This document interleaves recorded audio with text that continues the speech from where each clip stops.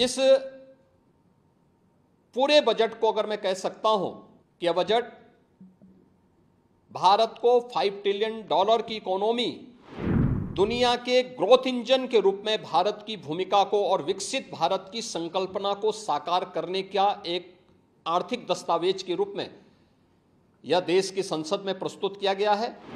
140 करोड़ जनता जनार्दन के लिए समर्पित उनकी आशा, उनकी आकांक्षा और अमृत काल के संकल्पों को पूरा करने वाले इस बजट के लिए मैं आदरणीय प्रधानमंत्री जी के प्रति आभार व्यक्त करता हूँ। आदरणीय प्रधानमंत्री श्री नरेंद्र मोदी जी के मार्गदर्शन में देश की नई संसद में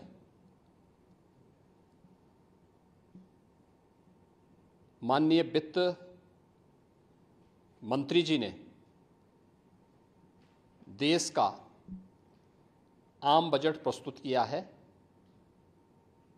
यह बजट सर्वस्पर्शी, सर्वसमावेशी, विकासोन्मुख 140 करोड़ भारतवासियों की आशा आकांक्षा और अमृत काल के संकल्पों को पूरा करने वाला सिद्ध होगा। आम बजट 2024-25 आत्मनिर्भर एवं विकसित भारत के निर्माण का एक आर्थिक दस्तावेज़ है। इस आम बजट में अंत्योदय की पावन भावना, विकास की असीम संभावना और नौनमेष की नौ दृष्टि है। इस आम बजट में अन्नदाता किसानों की समृद्धि के लिए एक लाख बावन हज़ार करोड़ रुपए कृषि और सहायक सेक्टर के लिए, महिला सशक्तिकरण के लिए तीन लाख करोड़ रुपए से अधिक का प्रावधान किया गया है।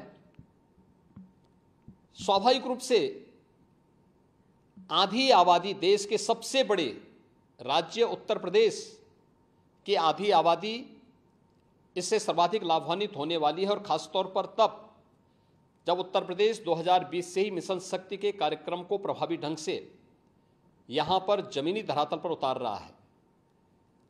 सर्वाधिक अन्नदाता किसान उत्तर प्रदेश के अंदर निवास कर रहा है। उन अन्नदाता किसानों की समृद्धि में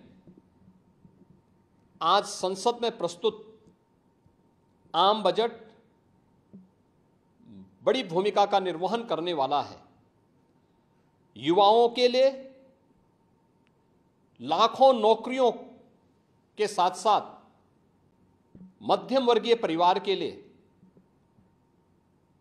प्रत्यक्ष कर, यानी इनकम टैक्स में जो नए टैक्स स्लैब की घोषणा हुई है, ये सभी अभिनंदनीय है, स्वागत योग्य हैं। इस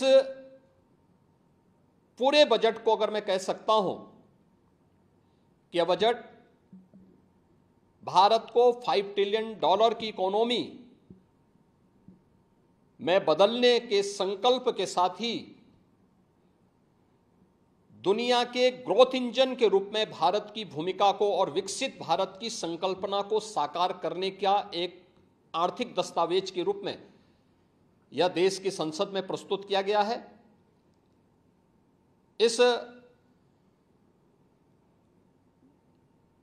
140 करोड़ जनता जनार्दन के लिए समर्पित।